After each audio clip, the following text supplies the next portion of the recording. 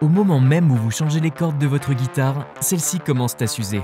La corrosion et les résidus s'accumulent entre le filet de vos cordes et agissent comme du ciment, leur donnant un aspect rugueux et usé et causant des pertes dans les graves et les aigus. Et quand vos cordes ne peuvent plus vibrer correctement, votre son devient mat. Mais les cordes Elixir sont différentes.